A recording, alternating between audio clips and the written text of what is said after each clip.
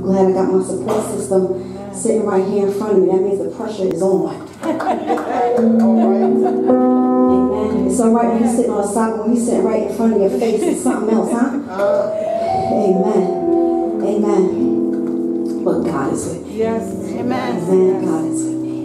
Amen. I'm glad this message, I'm glad to share this message with you this morning. Amen. Because the, the praise that's been going on in this house has, Pastor has confirmed it on last week's worship. Amen. Which was awesome. Amen. Our Thursday night Bible study where we studied where the topic of consideration for Thursday was the birth of praise. Amen. Amen. With Leah and Rachel. And we knew, we saw that um, until your eyes are open, um, my circumstances can change immediately. Amen. And that's what we learned concerning Leah until she opened up her mouth and praise God that her circumstances began to change immediately. Amen? Amen. So I just wanted to give you these little tidbits before I even go into the message. Amen. Well, anyway, my subject for consideration this morning is there's power in your praise.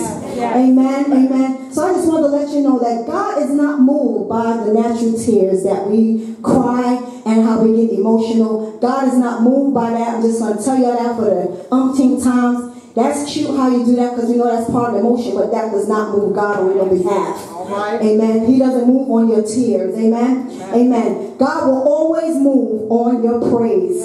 Amen. God is not moved. He wants, what God wants? He wants a supernatural praise to get his attention. Amen. So we know that when you praise him, you go into a different atmosphere. You go into a different stratosphere. Amen. And that's when you know that God is really moving because that's when you forget all about yourself. Amen. That's when you forget about the head, you forget about the lashes. When you really, like Pastor said, when you really, really, really go in. Amen. You don't care what you look like to nobody else. Amen. Amen. I know, you know, we all try to be cute when we praise and praise the Lord, you know, because we want to look like something when we leave out of here. But God said He's not impressed with what you look in your fashions. God says He wants a real praise, amen, to come out of your mouth, amen. So your praise will turn your situation around, amen. And we know that awesome things happen when people praise God, and that's when God gets involved and things start to happen, amen. Now, li- li- listen, listen to this sign. God's power is released when you praise. That means your situations, your circumstances, your battles, whatever it is, when you open up your mouth, something is bound to happen. We're going to go to Second Chronicles 21 to 27. Who got the message for me? Let's go. I need somebody to read it in a nice loud voice. Tawana, go ahead. Second Chronicles. Second Chronicles 20, verse 1 to 27. Second Chronicles. Twenty. You have it? Minister Shay? Okay, read it for me. Stand up and read it in a nice loud voice. In the message, Yes. here begins the reading of God's holy word. Sometime later, the Moabites and the Ammonites, accompanied by the Meunites, joined forces to make war on Jehoshaphat. Jehoshaphat received this intelligence report. A huge force is on its way from beyond the Dead Sea to fight you. There's no time to waste. They're ready at Hazan Tamar, the oasis of En-Gedi. Shaken, Jehoshaphat prayed. He went to God for help and ordered a nationwide fast. The country of Judah united in seeking God's help. They came from all cities of Judah to pray to God. Mm-hmm. Then Jehoshaphat took a position before the assembled people of Judah mm-hmm. and Jerusalem at the temple of God in front of the new courtyard and said, O God, God of our ancestors, are you not God in heaven above and the ruler of all kingdoms below? Mm-hmm. You hold all power and might in your fist. No one stands a chance against you. Mm-hmm. And didn't you make the natives of this land leave as you brought your people Israel in, turning it over permanently to your people Israel, the descendants of Abraham, your friend. Mm-hmm. They have lived here and built a holy house of worship to honor you, saying, when the worst happens, whether war or flood or disease or famine, mm-hmm. and we take our place before this temple, mm. we know you are personally present in mm. this place Right. Mm. and pray out our pain and trouble. We know that you will listen and give victory. Mm-hmm. And now it happened, men from Ammon, Moab, and Mount Seir have shown up. You didn't let Israel touch them when we got here at first. We detoured around them and didn't lay hands on them. Mm-hmm. And now they've come to kick us out of the country you gave us. Oh, dear God, won't you take care of them?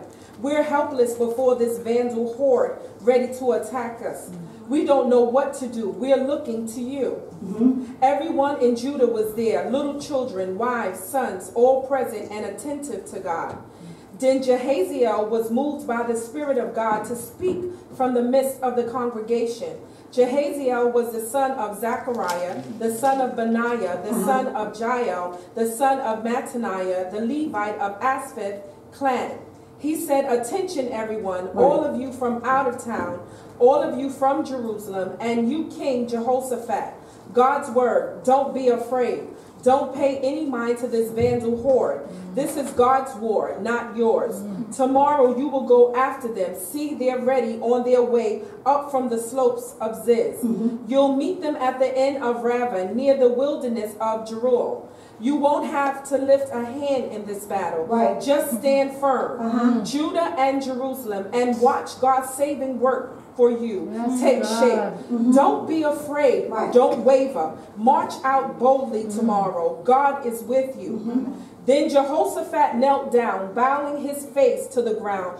All Judah and Jerusalem did the same, worshiping God.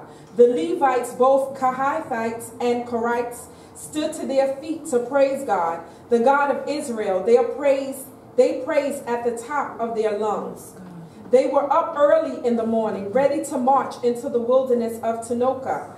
As they were leaving, Jehoshaphat stood up and said, Listen, Judah and Jerusalem, listen to what I have to say. Believe firmly in your God. Your God and your lives will be firm. Mm-hmm. Believe in your prospects and you will mm. come out on mm. top. All right. After talking it over with the people, Jehoshaphat appointed a choir for God, mm-hmm. dressed in holy robes. Yes. They were to march ahead of the troops mm. singing, Give thanks to God, his love never quits.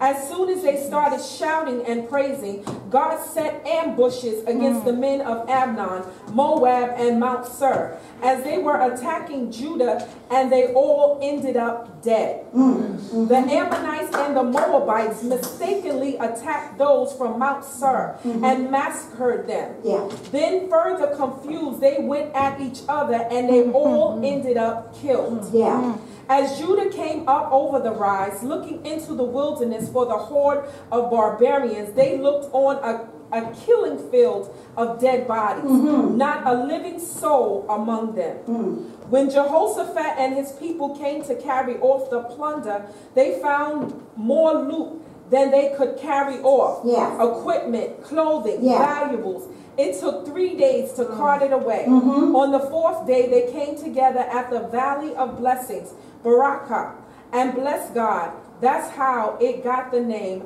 Valley of Blessings. Amen. Amen. Amen.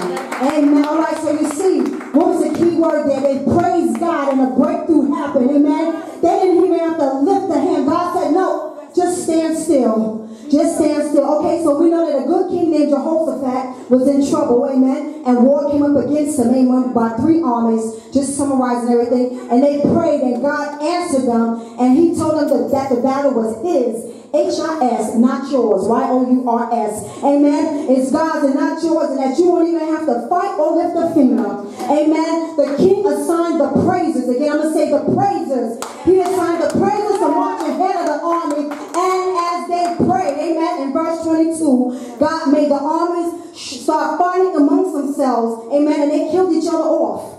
Amen. When the king Jehoshaphat got there, all he saw was dead bodies. And they were there three days collecting all the valuables. Praising God got God involved. Amen. And made King Jehoshaphat and his army win. So remember, that mean they, they never cried. Amen. They never said, Woe is me. All these people coming up against us and we got. No, what did he do? He opened up his mouth and he gave God a praise. Amen. I just want to get started. Amen. So he appointed a choir. Amen. For God, he dressed them like he said in a holy robe, and they marched around. Amen. Amen. So this is what he said: Give thanks to God, but his love never quits. Amen. So as soon as they started shouting and praying, God sets ambushes against the three armies of Ammon, Moab, and Mount Seir.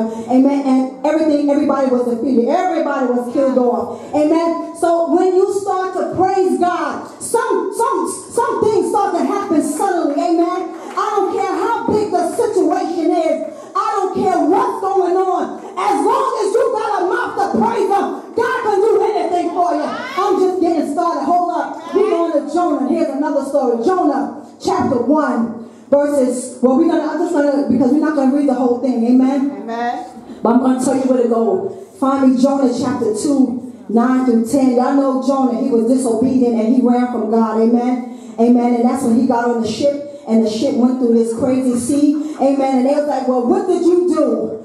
Amen. What did you? And they, you know, they said, well, you might, you, you had to do something. What did you do and what God do you serve? Because something ain't right. Amen. Something is not right. Amen. So here we go. This man didn't want to obey God. That's the first thing. That was his first mistake. And he ran.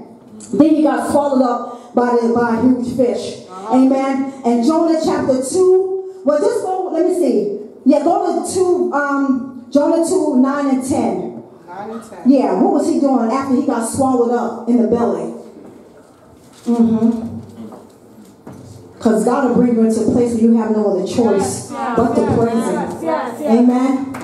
Those who worship hollow gods, God frauds, walk away their only true love. But I'll, I'm worshiping you, God, calling out in thanksgiving.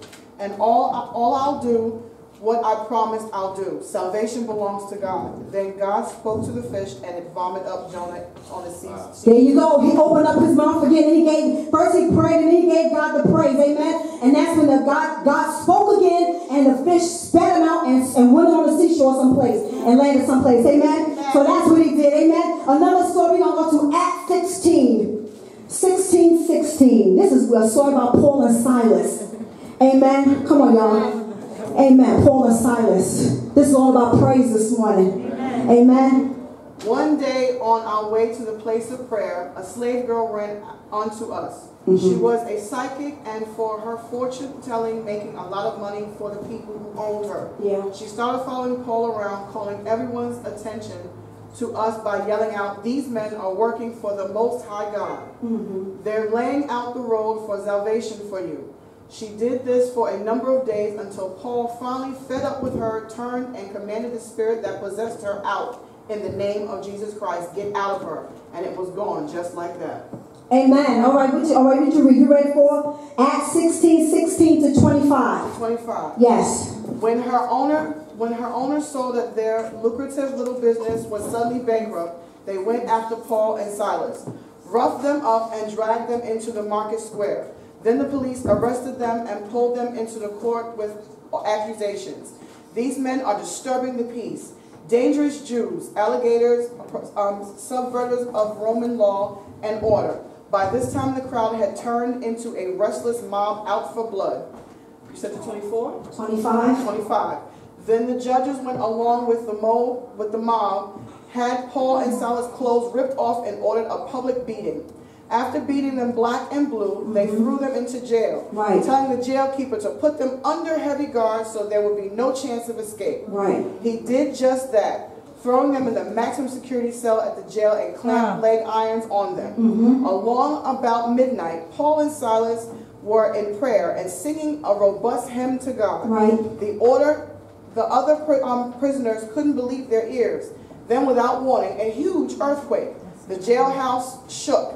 Every door flew open. All the prisoners were loose. Amen. Amen. And come on, y'all, put that again. It was praise that got him out of that situation. Amen. Paul and Silas was put in the jail unjustly. Amen. So we know at midnight, in verse 25, they were praising God and singing, amen. And without warning, that huge earthquake came over, opened the stocks, and let all the prisoners loose. Amen. So you, we know that they were under maximum security. Amen. So that there was no chance for escaping. Amen. And they were praising God because they knew the strength that comes when they praise God. Amen. So do you think that they felt like praising God? No, I wouldn't.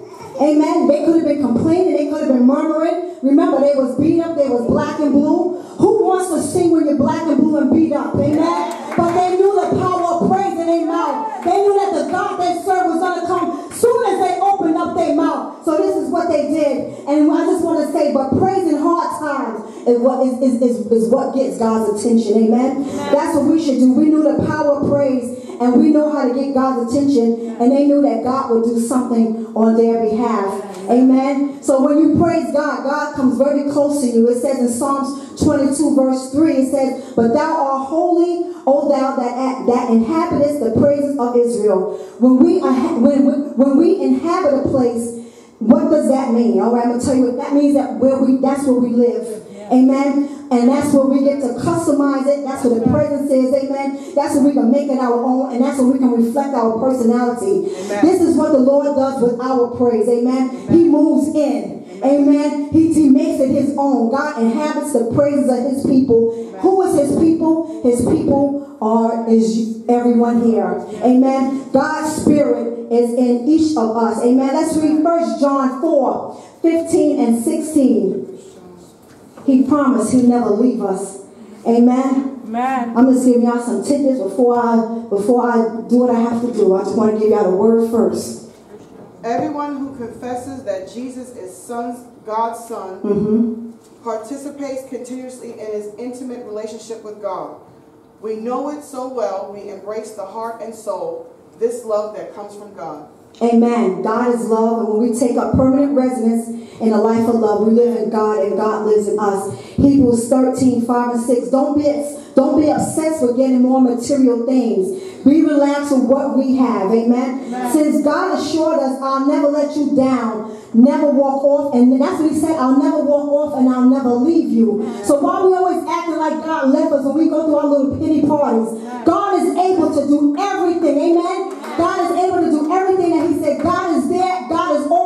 Ready to help. Because and you should be fearless in that. Amen. Amen. Who am I to be scared of? What am I to be scared of? God is everything. God is all of that. Who can do anything to God? What enemies can come against me when I got God? My daddy by my side. Amen.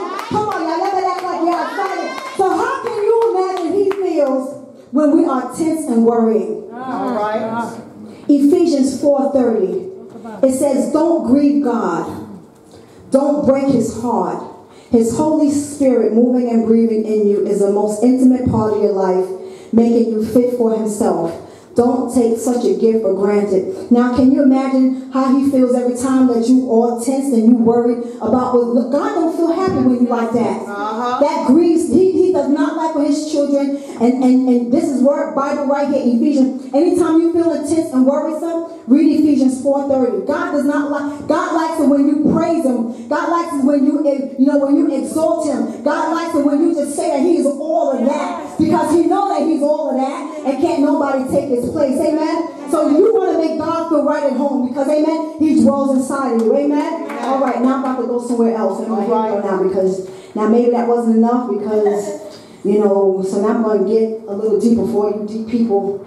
I, need to get, I need to get a scoop again now for y'all. Amen. Here we go. Picture you are not able to stop talking because your conversations are linked up. All right. No breathing. All right, I say this. Your conversations have to be linked up to God. That means your praises have to be linked up to God. Mm-hmm. Amen. I was, I was, as I was listening to Prophet talking in the um, class on Friday, I was like, was he looking at my doggone notes? You know, and, and I think I asked him that yesterday too when I was writing. I said, you be looking at my stuff? But I know that that's just God confirming, amen, that it's not me saying what I want to say, amen, that he's just he's just confirming, amen. So I, I mean I thank God for that, amen. But and I'm going here, I'm going this way. Picture you are not able to stop talking because your conversations are linked up. What does that mean? Praising anyhow, amen. Your conversation after conversation, speaking of God's glory and how He made a way out of no way. Amen. That's your conversations linked up. That's your praises to God's ears, amen. When you have a good praise to God, God loves to hear that. God loves to hear that you got to praise for Him each and every time you open up your mouth, amen. And let me see. Okay, I'm just gonna go this way. And this is what God is telling me. The Lord says when you praise God, it's going to get on his heels. All right. Okay, Acts 7 49. And I think this will make you understand it even more.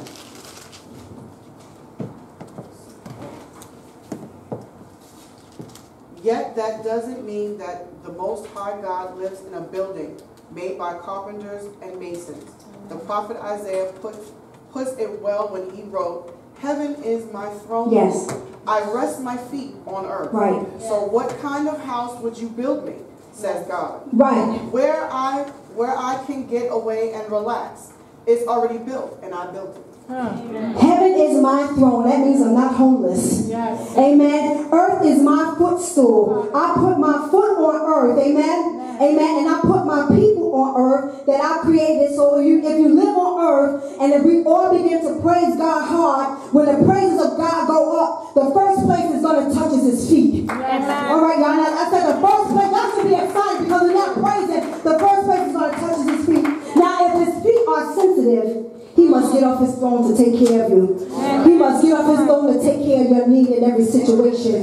So when God's foot becomes sensitive to my praise, he got to get up and take care of his daughter. Amen. Now listen closely. This is what happens with a baby. I'm just going to use my, my goddaughter's for instance. When Shayla cries, amen, a mother knows the cry of her child. Amen. She knows when she's fussy. Amen. She knows when she got gas. She knows when her pamper changed. She knows when she's hungry. Amen. There's different cries that cry. But a mother knows when it's time for her to get up. A mother can actually avoid or, or not even pay attention to a baby when, it start, when, when she starts crying at first because she knows she just wants a little bit of attention. But a mother knows when now she's acting up, now I got to get up. Now she done, no, she done cried long enough. Now it's time for me to move on my daughter's behalf.